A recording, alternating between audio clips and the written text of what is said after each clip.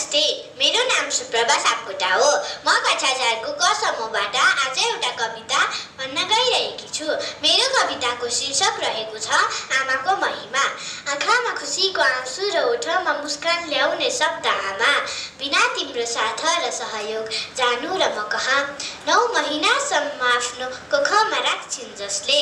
उनले गरे जति त्यो गर्न सक्छ र कसले?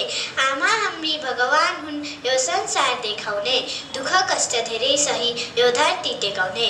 हाम्री आमा ईश्वर हुन् दर्शन गर्न सिकौँ। आमा शिक्षकी प्रथम गुरु हुन् आर्जन गर्न सिकौँ। न त दुई छाक भरि पेट न चाहिन्छ नयाँ लुगा फाटा। पढ्न होस् या खाना लाउन हुन दिन्नन् घाटा। आउन दिन्नन् कुनै आधी उरी र अवरोध मतिर।